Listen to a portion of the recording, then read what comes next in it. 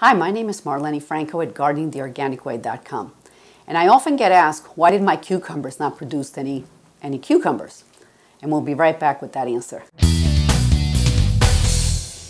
The reason why cucumbers don't produce any cucumbers is there could be multiple reasons.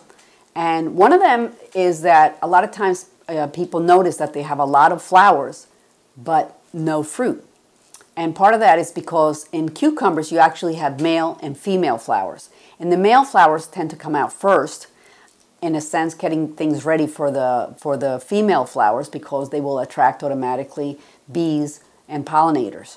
So a lot, so a lot of times you think, oh, well, the flowers fell off and I didn't get any, any cucumbers. No, it's just that they were male flowers. And we all know that males don't produce any babies. Well, the same applies with uh, the cucumbers. It's on the male, the female flowers will have um, uh, the actual bulb right at the base of, of the flower, while the male will not. And that's how you'll be able to distinguish between the two.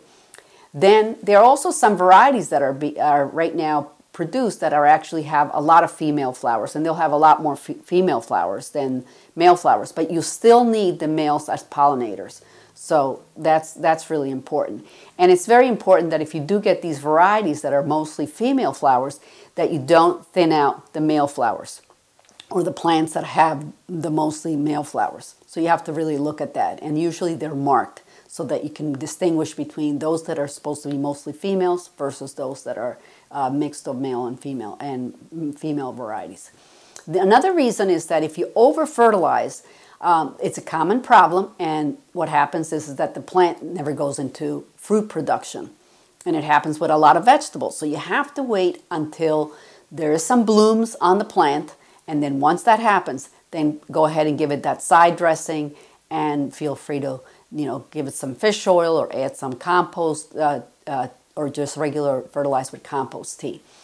And the last reason why you may not get sufficient uh, cucumbers is no bees or pollinators. And this could happen for a number of reasons. One is we have a, a cold spell or rain, lots of rain and cold, well, the bees aren't going to come out. Then if there's any kind of pesticides in the area, it can eliminate any kind of uh, bees. Even if you have your uh, garden away from the grass. But if the grass is within X amount of feet or, you know, eh, within the given area and you've actually put something on your lawn that can easily, any kind of herbicide or, or any kind of pesticide that can easily kill the bees, well, consequently, you're not going to get the proper pollination. Thank you for your time and make sure to visit our website, gardeningtheorganicway.com and read our blogs on the most up-to-date information on gardening the organic way. Make sure you follow us on the different social media outlets that we have and subscribe to YouTube so that way you stay on top of the latest videos that we produce. I'm Marlene Franco and I encourage you to keep gardening the organic way.